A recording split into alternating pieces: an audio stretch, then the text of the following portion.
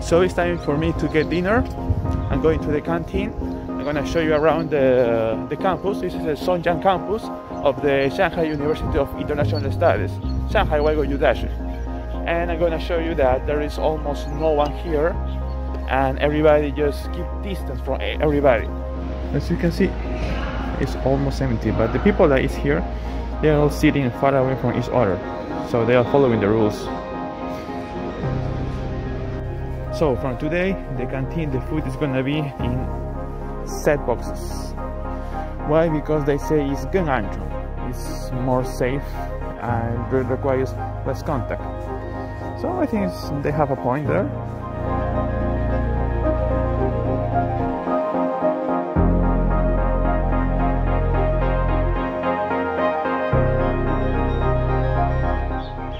Here in case someone has the symptoms or anything they set up a quarantine zone in uh, these nice, nice places.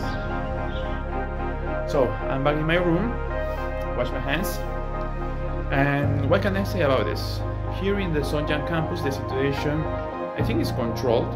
Uh, the university is doing its best, taking a lot of measures. For example, they just told me they are disinfecting the canteen, not only the cooking area, but also the, the floor, the tables, and all that, every day. So here people is calm, is chill, there is not climate of fear or panic, nothing. Even the eyes are in really great mood. So this is all I can report from here. Uh, I just can say, uh, 中国加油，武汉加油，拜拜。